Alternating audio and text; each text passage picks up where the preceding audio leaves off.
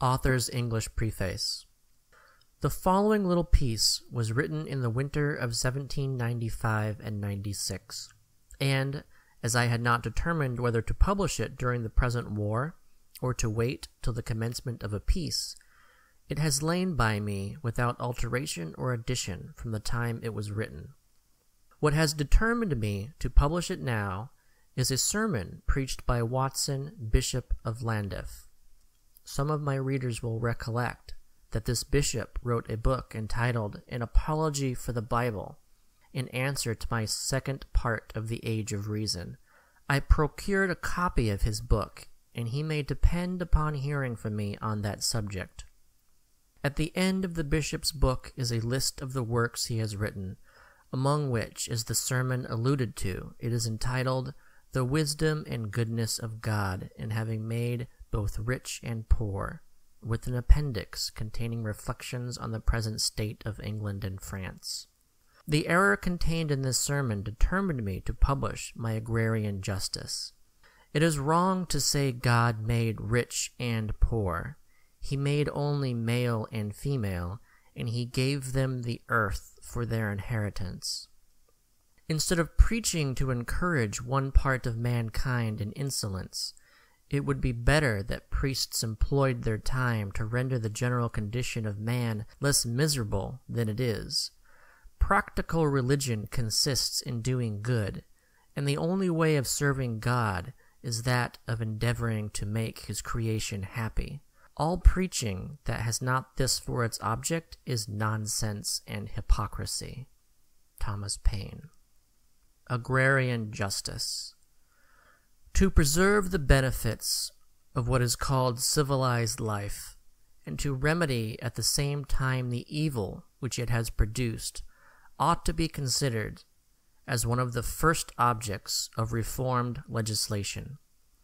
Whether that state that is proudly, perhaps erroneously, called civilization has most promoted or most injured the general happiness of man is a question that may be strongly contested. On one side, the spectator is dazzled by splendid appearances.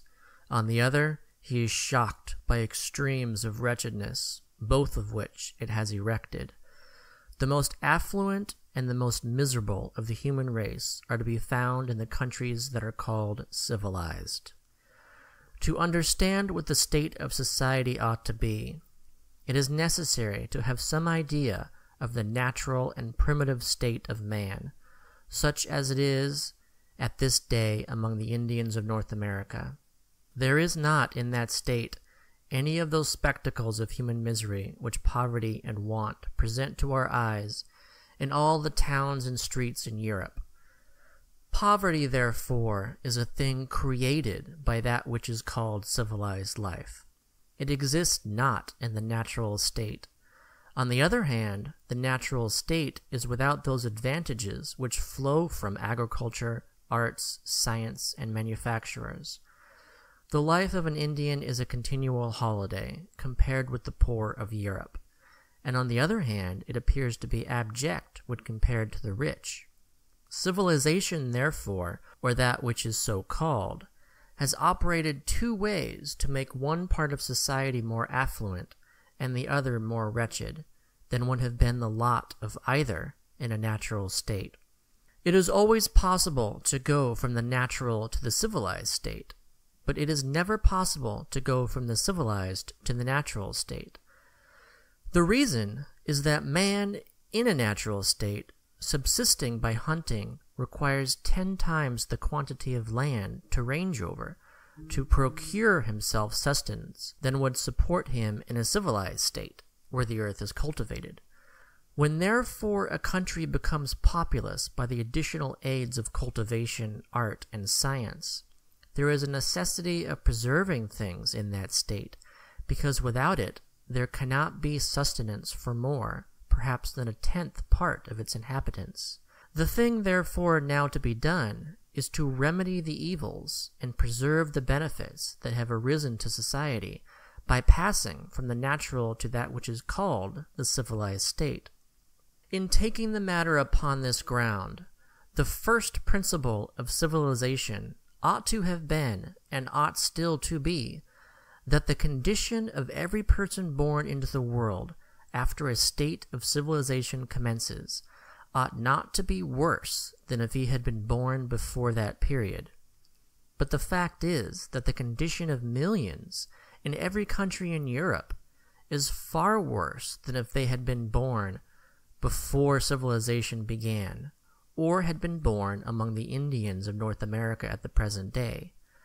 I will shew how this effect has happened.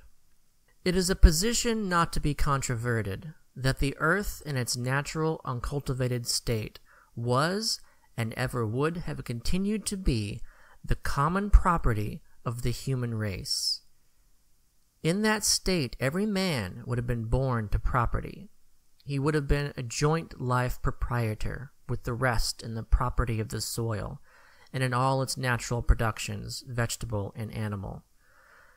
But the earth in its natural state, as before said, is capable of supporting but a small number of inhabitants compared with what it is capable of doing in a cultivated state.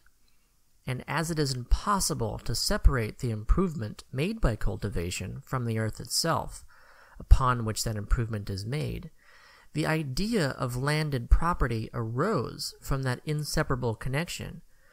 But it is nevertheless true that it is the value of the improvement only and not the earth itself that is individual property. Every proprietor, therefore, of cultivated land owes to the community a ground rent, for I know of no better term to express the idea, for the land which he holds, and it is from this ground rent that the fund proposed in this plan is to issue. It is deducible as well from the nature of the thing as from all the histories transmitted to us that the idea of landed property commenced with cultivation, and that there was no such thing as landed property before that time. It could not exist in the first state of man, that of hunters. It did not exist in the second state, that of shepherds. Neither Abraham, Isaac, Jacob, nor Job so far as the history of the Bible may be credited in probable things, were owners of land. Their property consisted, as is always enumerated, in flocks and herds, and they traveled with them from place to place. The frequent contentions at that time about the use of a well in the dry country of Arabia, where those people lived, also shew that there was no landed property. It was not admitted that land could be claimed as property. There could be no such thing as landed property originally. Man did not make the earth, and though he has had a natural right to occupy it, he had no right to locate as his property in perpetuity any part of it. Neither did the creator of the earth open a land office from whence the first title deeds should issue. Whence then arose the idea of landed property? I answer as before that when cultivation began, the idea of landed property began with it, from the impossibility of separating the improvement made by cultivation from the earth itself, upon which that improvement was made. The value of the improvement so far exceeded the value of the natural earth at that time as to absorb it, till in the end the common right of all became confounded into the cultivated right of the individual. But there are nevertheless distinct species of rights, and will continue to be so long as the earth endures. It is only by tracing things to their origin that we can gain rightful ideas of them. And it is by gaining such ideas that we discover the boundary that divides right from wrong, and teaches every man to know his own. I have entitled this tract Agrarian Justice, to distinguish it from agrarian law. Nothing could be more unjust than agrarian law in a country improved by cultivation. For though every man, as an inhabitant of the earth, is a joint proprietor of it in his natural state, it does not follow that he is a joint proprietor of cultivated earth. The additional value made by cultivation, after the system was admitted, became the property of those who did it, or who inherited it from them, or who purchased it. It had originally no owner.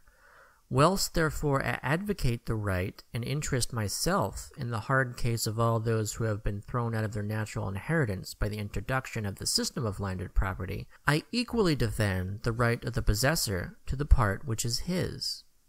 Cultivation is at least one of the greatest natural improvements ever made by human invention.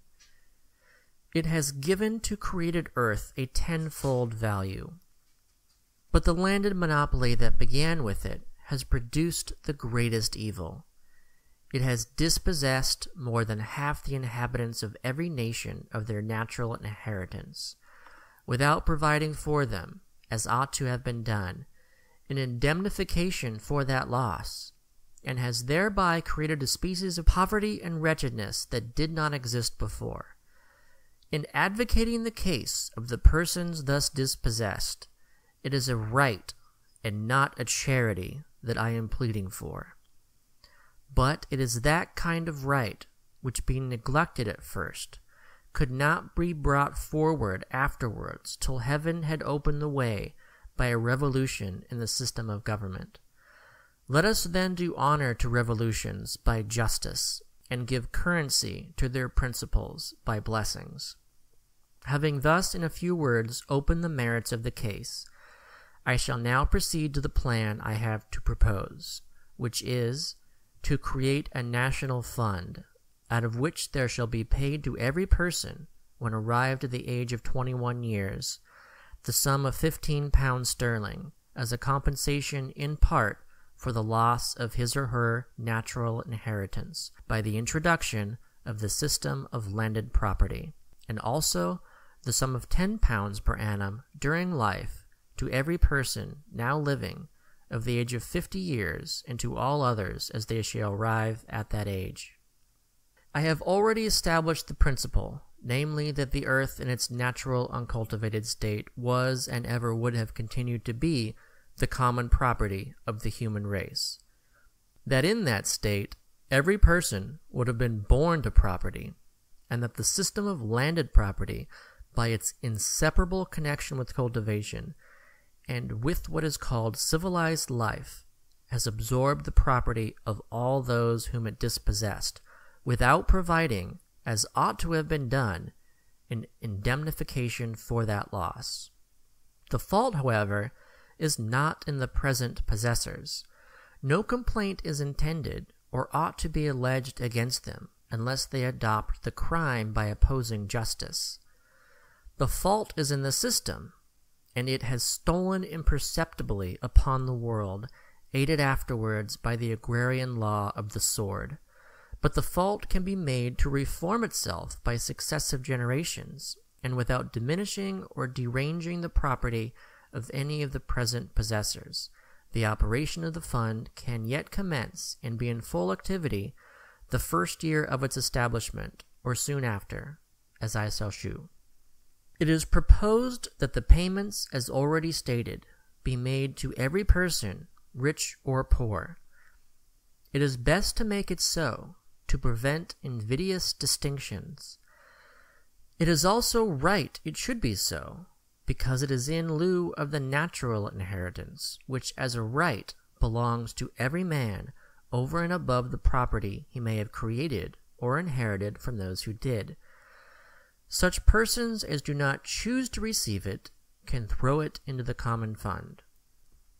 Taking it then for granted that no person ought to be in a worse condition when born under what is called a state of civilization than he would have been had he been born in a state of nature, and that civilization ought to have made, and ought still to make, provision for that purpose, it can only be done by subtracting from property a portion equal in value to the natural inheritance it has absorbed.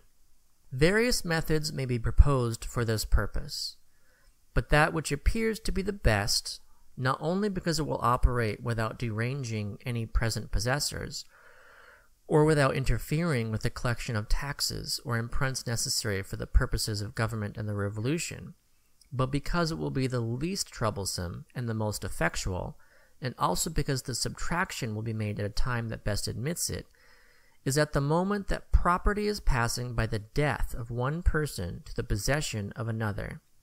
In this case, the bequeather gives nothing. The receiver pays nothing. The only matter to him is that the monopoly of natural inheritance, to which there never was a right, begins to cease in his person.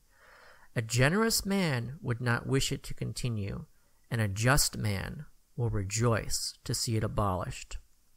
My state of health prevents my making sufficient inquiries with respect to the doctrine of probabilities, whereon to found calculations with such degrees of uncertainty as they are capable of. What therefore I offer on this head is more the result of observation and reflection than of received information, but I believe it will be found to agree sufficiently with fact. In the first place, taking 21 years as the epoch of maturity, all the property of a nation, real and personal, is always in the possession of persons above that age. It is then necessary to know, as a datum of calculation, the average of years which persons above that age will live. I take this average to be about 30 years. For though many persons will live 40, 50, or 60 years after the age of 21 years, others will die much sooner, and some in every year of that time. Taking then 30 years as the average of time, it will give, without any material variation one way or other, the average of time in which the whole property or capital of a nation, or a sum equal thereto, will have passed through one entire revolution and descent, that is, will have gone by deaths to new possessors, for though in many instances some parts of this capital will remain 40, 50, or 60 years in the possession of one person, other parts will have revolved two or three times before those 30 years expire, which will bring it to that average. For were one half the capital of a nation to revolve twice in 30 years, it would produce the same fund as if the whole revolved once. Taking then thirty years as the average of time in which the whole capital of a nation, or a sum equal thereto, will revolve once, the thirtieth part thereof will be the sum that will revolve every year. That is, will go by deaths to new possessors, and this last sum being thus known, and the ratio per cent to be subtracted from it determined, it will give the annual the annual amount or income of the proposed fund to be applied as already mentioned. In looking over the discourse of the English minister Pitt in his opening of what is called in England the budget, the scheme of finance for the year 1796, I find an estimate of the national capital of that country. As this estimate of a national capital is prepared ready to my hand, I take it as a datum to act upon. When a calculation is made upon the known capital of any nation, combined with its population, it will serve as a scale for any other nation, in proportion as its capital and population be more or less. I am the more disposed to take this estimate of Mr. Pitt for the purpose of showing to that minister, upon his own calculation, how much better money may be employed than in wasting it, as he has done on the wild project of setting up Bourbon kings. What in the name of heaven are Bourbon kings to the people of England? It is better that the people have bread. Mr. Pitt states the national capital of England, real and personal, to be 1,300 million sterling, which is about one fourth part of the national capital of France, including Belgium. The event of the last harvest in each country proves that the soil of France is more productive than that of England, and that it can better support 24 or 25 millions of inhabitants than that of England can seven or seven and a half millions. The thirtieth part of this capital, of 1.3 billion pounds, is 43,333,333 pounds, which is the part that will revolve every year by deaths in that country to new possessors, and the sum that will annually revolve in France in the proportion of 4 to 1 will be about 173 million sterling. From this sum of 43,333,333 pounds annually revolving is to be subtracted the value of the natural inheritance absorbed in it, which perhaps in fair justice cannot be taken at less, and ought not to be taken for more than a tenth part. It will always happen that of the property thus revolving by deaths every year a part will descend in a direct line to sons and daughters and the other part collaterally, and the proportion will be found to be about 3 to 1. It is about 30 millions of the above sum will descend to direct heirs, and the remaining sum of 13.33 million to more distant relations and in part to strangers. Considering then that man is always related to society, that relationship will become comparatively greater in proportion as the next of kin is more distant. It is therefore consistent with civilization to say that there are no direct heirs. Society shall be heir to a part over and above the tenth part due to society. If this additional part be from 5 to 10 or 12 per cent, in proportion as the next of kin be nearer or more remote, so as to average with the escheats that may fall, which ought always to go to society and not to the government, in addition of 10% more, the produce from the annual sum of 43.33 million pounds will be from 30 million pounds at 10% 3 million pounds, from 13.33 million pounds at 10% with the addition of 10% more 2.66 million pounds, from 33.33 million 5.66 million pounds. Having thus arrived at the annual amount of the proposed fund, I come in the next place to speak of the population proportion to this fund, to compare it with the uses to which the fund is to be applied.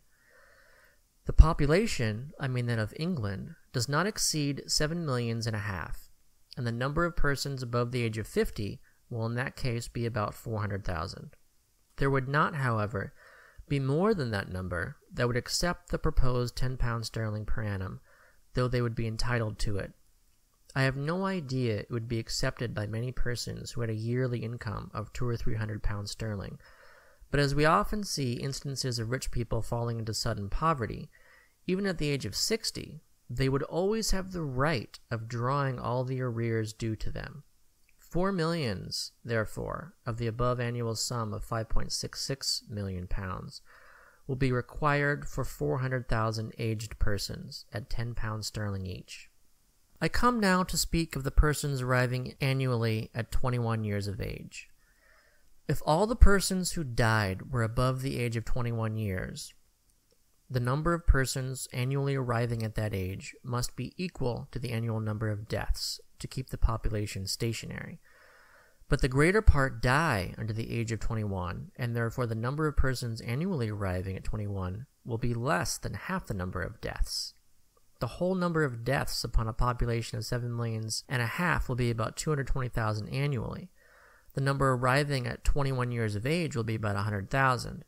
The whole number of these will not receive the proposed 15 pounds for the reasons already mentioned, though as in the former case they would be entitled to it. Admitting then that a tenth part declined receiving it, the amount would thus fund annually to 400,000 age at persons 10 pounds each, 4 million pounds, to 90,000 persons of 21 years, 15 pounds sterling each, 1.35 million pounds. There are in every country a number of blind and lame persons totally incapable of earning a livelihood. But as it will always happen that the greater number of blind persons will be among those who are above the age of 50 years, they will be provided for in that class, the remaining sum of £316,666 will provide for the lame and blind under that age at the same rate of £10 annually for each person.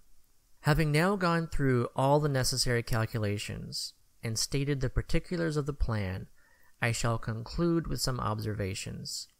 It is not charity, but a right, not bounty, but justice, that I am pleading for.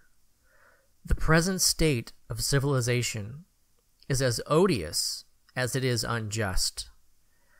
It is absolutely the opposite of what it should be, and it is necessary that a revolution should be made in it. The contrast of affluence and wretchedness continually meeting and offending the eye is like dead and living bodies chained together. Though I care as little about riches as any man, I am a friend to riches because they are capable of good. I care not how affluent some may be, provided that none be miserable in consequence of it. But it is impossible to enjoy affluence with the felicity it is capable of being enjoyed whilst so much misery is mingled in the scene.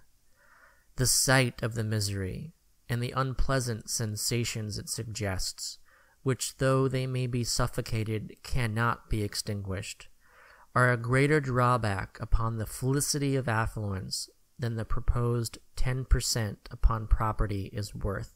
He that would not give the one to get rid of the other has no charity, even for himself. There are in every country some magnificent charities established by individuals. It is, however, but little that any individual can do when the whole extent of the misery to be relieved is considered. He may satisfy his conscience, but not his heart. He may give all that he has, and that all will relieve but little. It is only by organizing civilization upon such principles as to act like a system of pulleys that the whole weight of misery can be removed. The plan here proposed will reach the whole. It will immediately relieve and take out of view three classes of wretchedness the blind, the lame, and the aged poor and it will furnish the rising generation with means to prevent their becoming poor, and will do this without deranging or interfering with any national measures. To shew that this will be the case, it is sufficient to observe that the operation and effect of the plan will in all cases be the same as if every individual were voluntarily to make his will and dispose of his property in the manner here proposed. But it is justice and not charity that is the principle of the plan. In all great cases, it is necessary to have a principle more universally active than charity, and with respect to justice, it ought not to be left to the choice of detached individuals whether they will do justice or not. Considering then the plan on the ground of justice, it ought to be the act of the whole, growing spontaneously out of the principles of the revolution, and the reputation of it ought to be national and not individual. A plan upon this principle would benefit the revolution by the energy that springs from the consciousness of justice. It would multiply also the national resources, for property, like vegetation, increases by offsets. When a young couple begin the world, the difference is exceedingly great whether they begin with nothing or with fifteen pounds apiece. With this aid they could buy a cow and implements to cultivate a few acres of land, and instead of becoming burdens upon society, which is always the case where children are produced faster than they can be fed, would be put in the way of becoming useful and profitable citizens. The national domains also would sell the better if pecuniary aids were provided to cultivate them in small lots. It is the practice of what has unjustly obtained the name of civilization, and the practice merits not to be called either charity or policy, to make some provision for persons becoming poor and wretched only at the time they become so. Would it not, even as a matter of economy, be far better to adopt means to prevent their becoming poor? This can best be done by making every person, when arrived at the age of 21 years, an inheritor of something to begin with.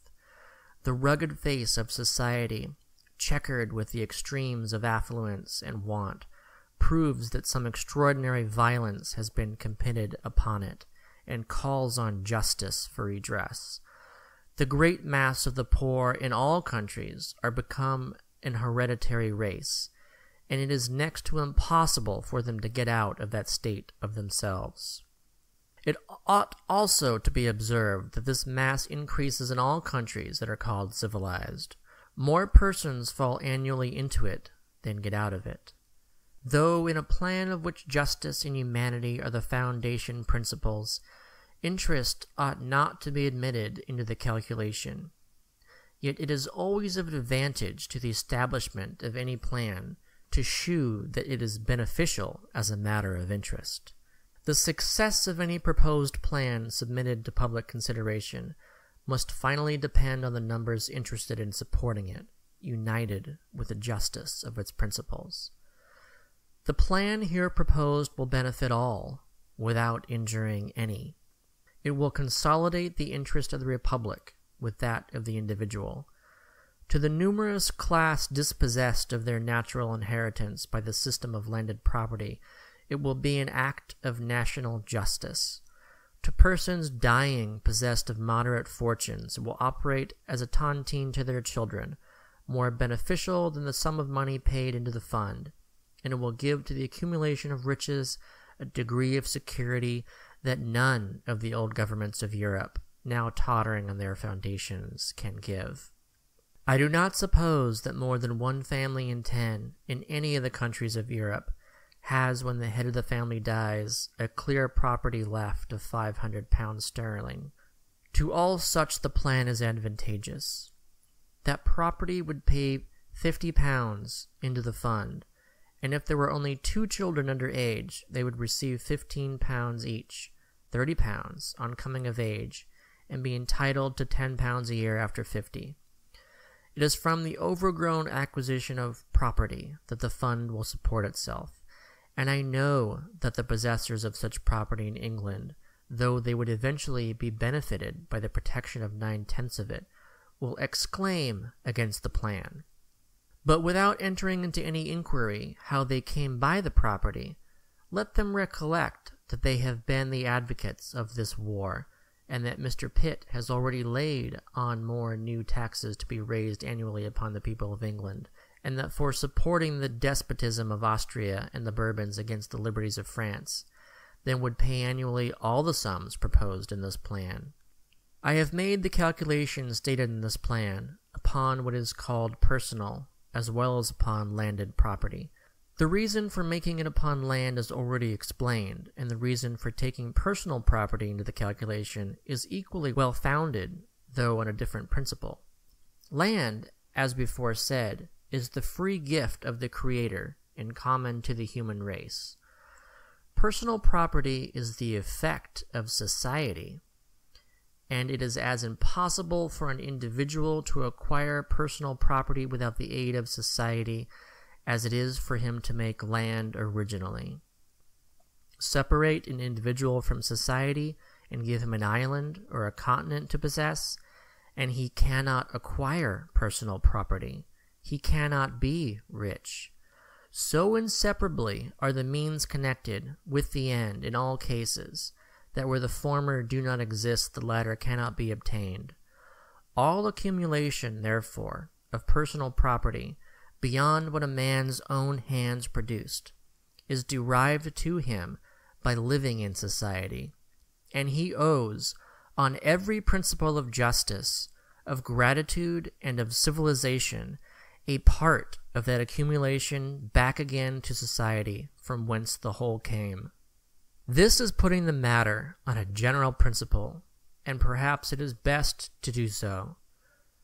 For if we examine the case minutely, it will be found that the accumulation of personal property is in many instances the effect of paying too little for the labor that produced it, the consequence of which is that the working hand perishes in old age, and the employer abounds in affluence.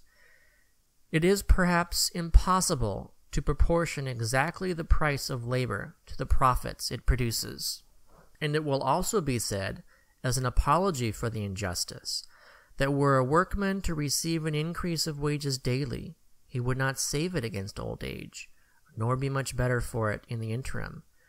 Make then society the treasure to guard it for him in a common fund, for it is no reason that because he might not make a good use of it for himself, another should take it. The state of civilization that has prevailed throughout Europe is as unjust in its principle as it is horrid in its effects, and it is the consciousness of this, and the apprehension that such a state cannot continue when once investigation begins in any country, that makes the, the possessors of property dread every idea of a revolution. It is the hazard and not the principle of revolutions that retards their progress. This being the case, it is necessary as well for the protection of property as for the sake of justice and humanity, to form a system that, whilst it preserves one part of society from wretchedness, shall secure the other from depredation. The superstitious awe, the enslaving reverence that formerly surrounded affluence, is passing away in all countries and leaving the possessor of property to the convulsion of accidents. When wealth and splendor, instead of fascinating the multitude, excite emotions of disgust, when instead of drawing forth admiration, it is beheld as an insult upon wretchedness, when the ostentatious appearance it make serves to call the right of it in question, the case of property becomes critical, and it is only in a system of justice that the possessor can contemplate security. To remove the danger, it is necessary to remove the antipathies, and this can only be done by making property productive of a national blessing, extending to every individual. When the riches of one man above another shall increase the national fund in the same proportion, when it shall be seen that the prosperity of that fund depends on the prosperity of individuals, when the more riches a man acquires, the better it shall be for the general mass, it is then that antipathies will cease and property be placed on the permanent basis of national interest and protection. I have no property in France to become subject to the plan I propose. What I have, which is not much, is in the United States of America. But I will pay one hundred pounds sterling towards this fund in France, the instant it shall be established, and I will pay the same sum in England, whenever a similar establishment shall take place in that country. A revolution in the state of civilization is the necessary companion of revolutions in the system of government. If a revolution in any country be from bad to good, or from good to bad, the state of what is called civilization in that country must be made conformable thereto to give that revolution effect. Despotic government supports itself by abject civilization, in which debasement of the human mind and wretchedness in the mass of the people are the chief criterions. Such governments consider man merely as an animal, that the exercise of intellectual faculty is not his privilege, that he has nothing to do with the laws but to obey them, and they politically depend more upon breaking the spirit of the people by poverty than they fear enraging it by desperation. It is a revolution in the state of civilization that will give perfection to the revolution of France. Already the conviction that government by representation is the true system of government is spreading itself fast in the world. The reasonableness of it can be seen by all. The justness of it makes itself felt even by its opposers. But when a system of civilization, growing out of that system of government, shall be so organized that a man or woman born in the Republic but shall inherit some means of beginning the world and see before them the certainty of escaping the miseries that under other governments accompany old age, the Revolution of France will have an advocate and an ally in the heart of all nations. An army of principles will penetrate where an army of soldiers cannot. It will succeed where diplomatic management would fail. It is neither the Rhine, the Channel, nor the ocean that can arrest its progress. It will march on the horizon of the world and it will conquer.